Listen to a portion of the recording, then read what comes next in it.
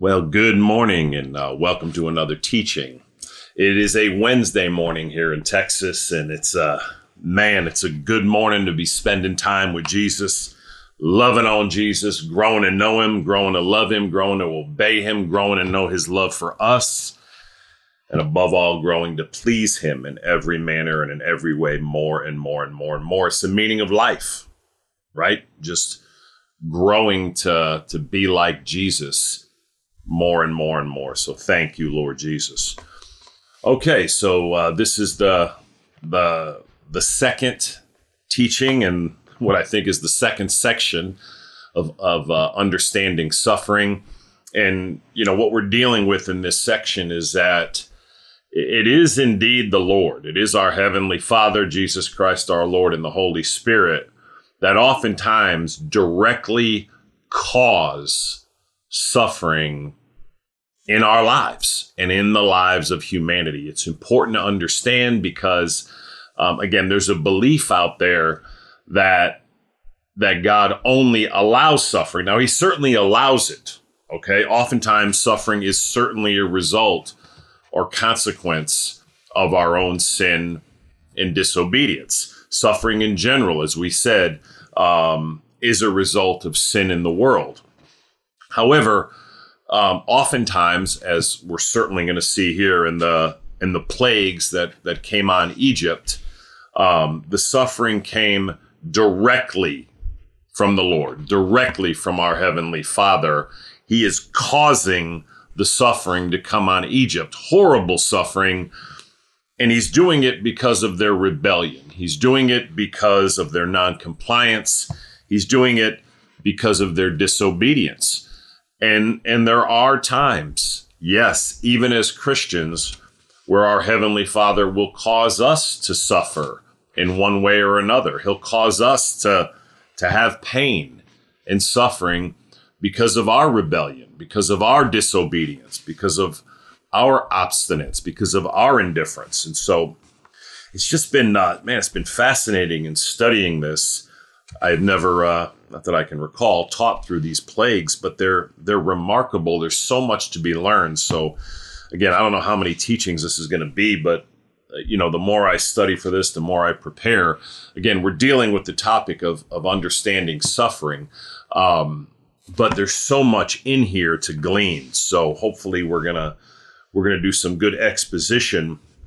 You know, while we point out the very clear the very clear, undeniable fact that it is God Himself, that it's our, our Heavenly Father, Jesus Christ our Lord, and the Holy Spirit who is clearly causing the suffering.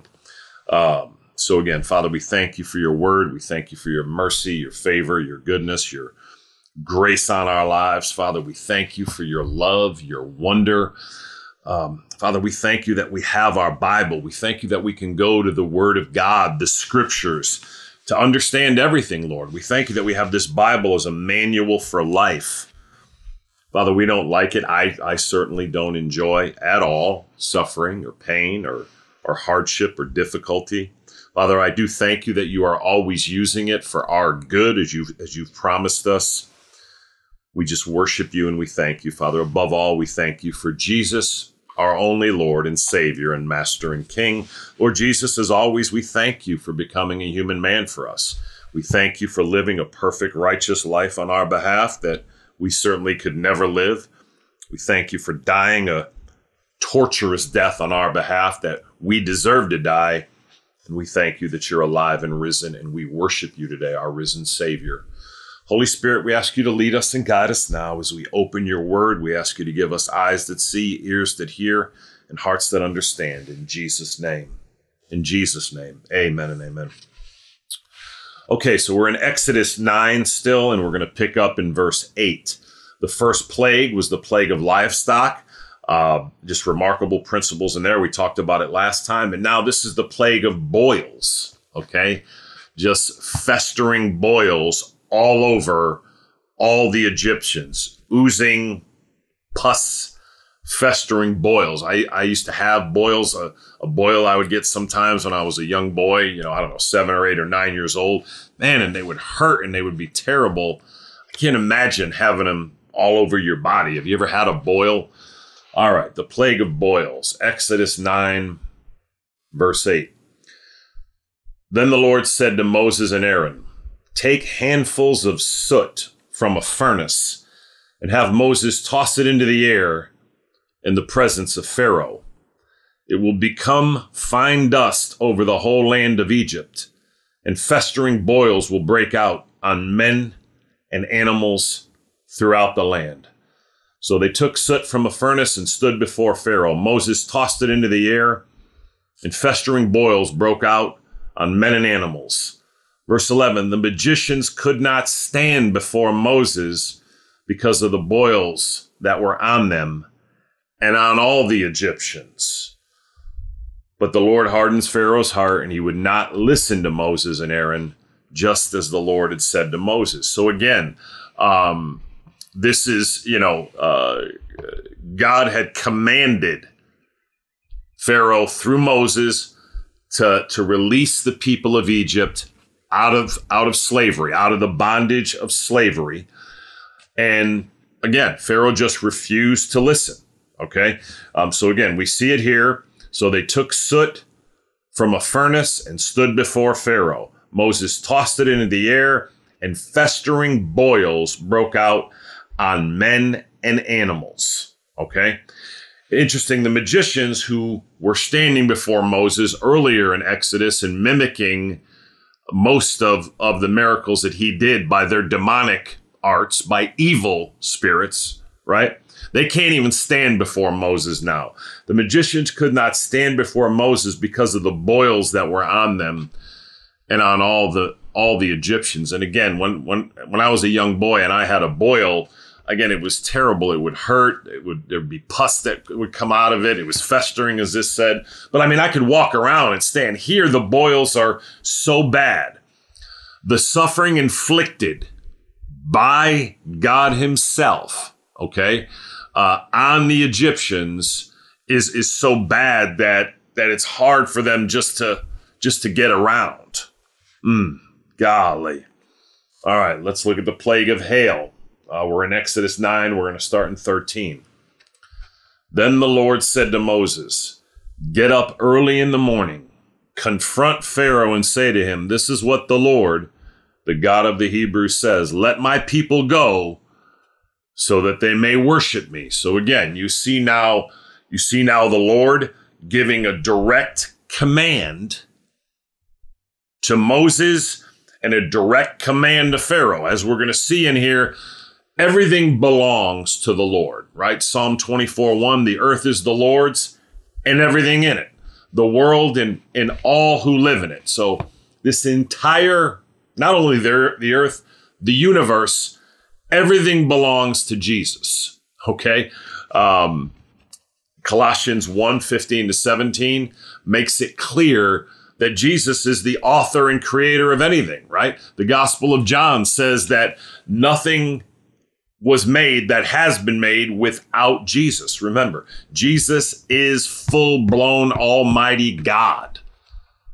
Our sin is so bad and so wicked in a way that we really don't comprehend that our God Himself, God the Son, in the person of Jesus Christ, took on humanity, had to Himself enter into this world, add humanity to His deity, become the God man lived the perfect righteous life on our behalf that we could never live, die a torturous death on our behalf that we should have died and deserved to die, and then was raised from the dead. When we put our full faith and trust and confidence in Jesus alone, when we when you when we genuinely receive Jesus as our only Lord and Savior, okay? That perfect righteous life that Jesus actually lived when he walked the earth is credited to us as if we lived it. Incredible as that sounds, that's what the scripture teaches. That righteous life that Jesus lived is credited to us as if we lived it. We didn't live it, but our Heavenly Father counts it to us as if we did. And all of our sin, past, present, and future, is actually taken from us and credited to Jesus on the cross. It's overwhelming, right? Uh, C.S. Lewis commented that this is never, ever something that the mind of man would have conceived. Uh, he had read tens of thousands of books, right? M- maybe the greatest reader ever, C.S. Lewis, right? Certainly, many say the, the most prolific author of his generation, of anyone he ever lived with, of, of the entire 20th century, right? Um, and having read so much intuitively, in all other religions, he could see the hand or the mind of, of man or woman um, that that had conceived of this in every other religion. But one of the big things that brought him to biblical Christianity, and that that this can be the only way, is that in, in reading the scriptures, in understanding true biblical Christianity, he said that this is not something that the mind of man would have ever conceived hence must be divine. Has God, hence God is real and Jesus is the only way. That incredible exchange, right? All of my sin, my disgusting sin, and yours, past, present, and future, is credited to Jesus at the cross when you receive him and genuinely trust him as your Lord and Savior. And that perfect righteous life that he lived is credited to you and credited to me. Again, that exchange uh, the perfect righteous life of Jesus for all of my sin is the heart of the Christian gospel. And that exchange is what happens when someone becomes a genuine Christian, when they humble themselves before the Lord, fully acknowledge their hopeless, helpless, desperate, hell-bound state. Okay? Uh, a Christian is someone who understands that without Jesus, only hell awaits, and they're literally now clinging to Jesus alone believing in Jesus, trusting in Jesus, relying on Jesus alone for the forgiveness of their sins, the salvation of their soul, deliverance from eternal hell, and to bring them to heaven when they die. Jesus Christ is actually living in them. Wow. Okay, so, all right, let's look at this uh, plague of hail. Okay. Exodus 9, again, verse 13. The Lord said to Moses, Get up early in the morning, confront Pharaoh, and say to him, This is what the Lord, the God of the Hebrews says, Let my people go so that they may worship me. Verse 14, or this time I will send the full force of my plagues against you and against your officials and your people, so that you may know that there is no one like me in all the earth. So again, this this series is talking about understanding suffering, and in this section, we're dealing with the fact that God Himself, each member of the triune God, okay, remember, God is one being, three distinct individual separate persons God the Father, God the Son, Jesus, and God the Holy Spirit, okay? Um, they're all God, they're all omniscient, omnipresent, and, and omnipotent, meaning they know everything, which means they can't learn anything. Uh, they can do anything, um, and they're everywhere at all times. The, they live outside of time. Again, uh, the mystery of the Trinity is difficult to understand. You know, one what? God is what he is, who he is, is God the Father, God the Son, Jesus, and God the Holy Spirit. And each member of the Trinity we see indeed will will will directly cause suffering. And that's that's an important aspect. It's a pivotal aspect of understanding that certainly either our Heavenly Father allows it or He Himself causes it. Here He is absolutely causing the suffering, terrible suffering, to come on Egypt because of their rebellion and disobedience. Let my people go so that they may worship me. Verse 14. Or this time, okay, so you see, Pharaoh has an opportunity. He doesn't have to suffer, he can obey. And it's the same with us. Again, Hebrews 12 says our, that our heavenly Father disciplines us as his as his genuine children you know, so that so that we'll be more compliant and obedient children that are pleasing to Him. We don't have to be disciplined by our heavenly Father. We don't have to undergo suffering that as a result of our rebellion. Now, there's also suffering that comes uh, as a result of of living for Christ. Sometimes we can suffer for Christ. Um, there's suffering that comes as a result of a, of, of a spiritual attack. We have spiritual enemies um, and we'll get into that later in the series. Or this time, I will send the full force of my plagues against you and against your officials and your people. Why? So you may know that there is no one like me in all the earth. Verse 15 For by now I could have stretched out my hand and struck you and your people with a plague that would have wiped you off the earth. So, do you see that? Egypt doesn't understand. Egypt has their own gods. Uh, they thought Pharaoh was a living God, all ridiculous. Okay. Moses is now speaking on behalf of our Heavenly Father, of Jesus and the Holy Spirit, and says in verse 15, This is the Lord speaking through Moses, For by now I could have stretched out my hand and struck you and your people with a plague that would have wiped you off the earth. Okay. Jesus could in any moment wipe, wipe out all of humanity, right? Verse 16, but I have raised you up for this very purpose that I might show you my power and that my name might be proclaimed in all the earth. Again, it is our job to bring glory to our Heavenly Father and to Jesus and the Holy Spirit. You still set yourself against my people and will not let them go. Verse 18, therefore, at this time tomorrow. So again, here's the deal. Pharaoh could have heard this and said, listen, I saw what happened with the livestock. I saw what happened with the boils, and, and I'm sorry. Okay. Boom. You have my blessing. You can go. But he doesn't do it. Now you'll see here, he's going to begin to change his mind, right? All right. Let me see. All right.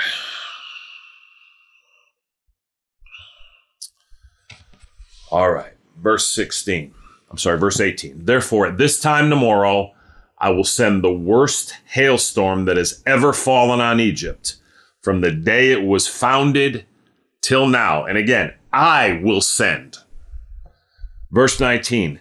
Give an order now to bring your livestock and everything you have in the field to a place of shelter, because the hail will fall on every man and animal that has not been brought in and is still out in the field, and they will die. So again, we don't know how big this. This could be that kind of you know softball size hail. This is this is obviously uh, overwhelmingly powerful hail. I mean, in Texas, sometimes we get some strong hailstorms. This is this is infinitely greater than that. Anyone outside is going to be killed. Any animal or any person. Okay? And they will die. Verse 20, look at this. Those officials, look at this. Those officials of Pharaoh who feared the word of the Lord hurried to bring their slaves and their livestock inside. Verse 21, but those who ignored the word of the Lord left their slaves and livestock in the field. So again, after the first two plagues, you'd think people would have got it. They would have understood. You think the Egyptians would have been like, okay, you win, Lord. But still, people just, the Lord could do countless miracles in our lives. He could do remarkable things among us. And yet, there are many, most in the world, that still refuse to believe. No matter what the Lord does, they won't bow the knee to Jesus. And, and, and here's the deal that, that if you won't do it in this life, you absolutely will do it in the next life. Jesus Christ is Lord of heaven and earth, of this life and the next life.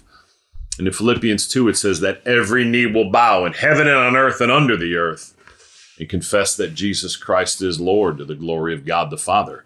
But if you don't do it in this life, if you don't receive Jesus as your only Lord and Savior, there will be no opportunity in the next life, and only an eternity in hell awaits.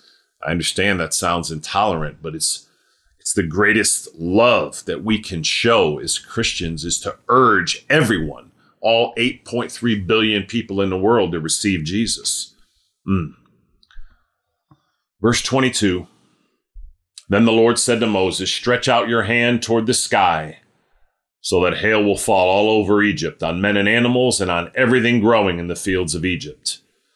When Moses stretched out his staff toward the sky, verse 23, the Lord sent thunder and hail, and lightning flashed down to the ground. So the Lord rained hail on the land of Egypt.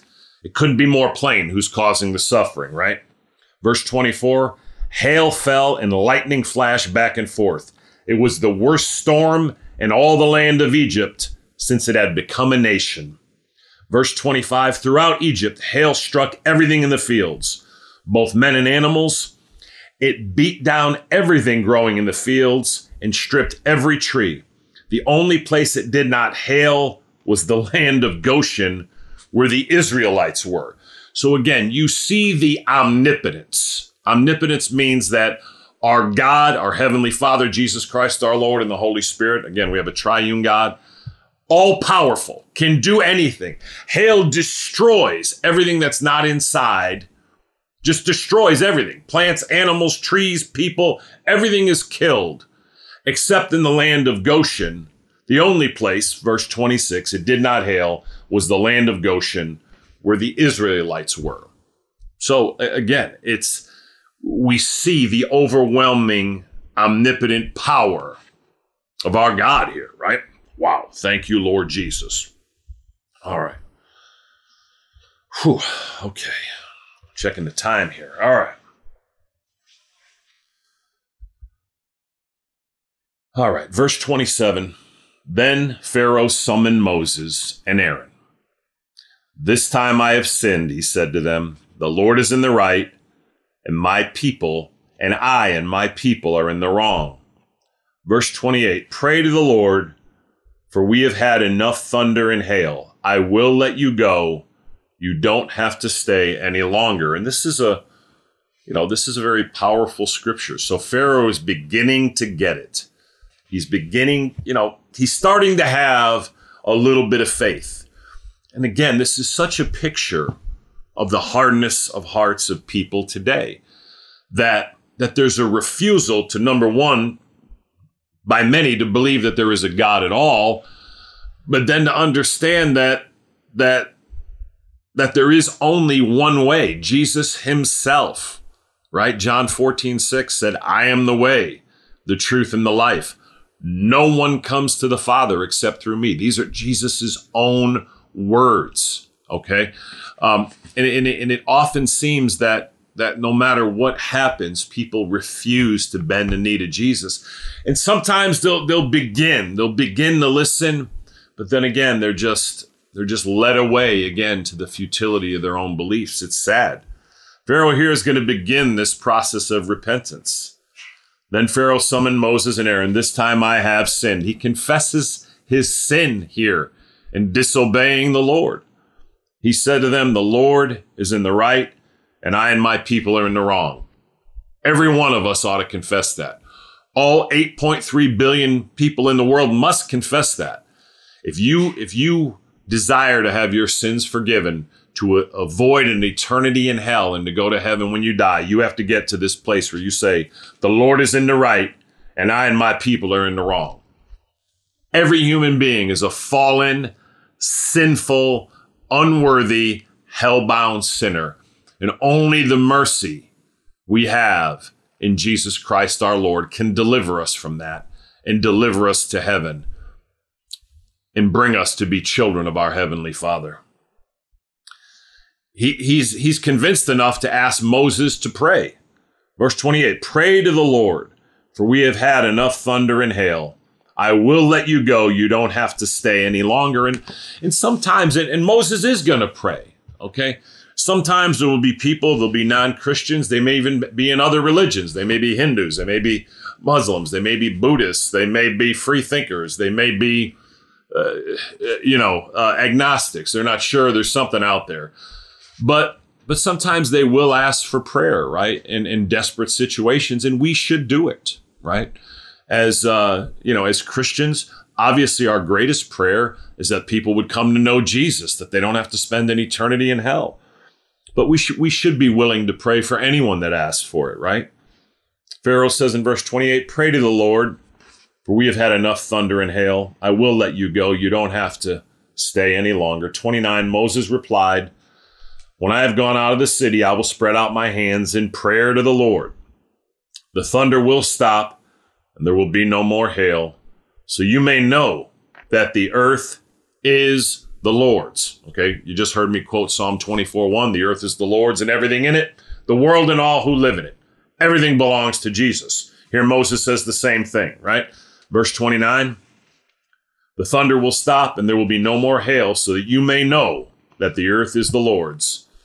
Verse 30 But I know that you and your officials still do not fear the Lord God. Again, it's near insanity, right? But Moses can tell that they want the problems to stop. We all do, right? Even as even as a, a what I hope to be a devout Christian believer, I I you know when I'm going through you know trials or difficulties or when all of us are going through sufferings, we we want it to stop, and our fear of the Lord tends to go up.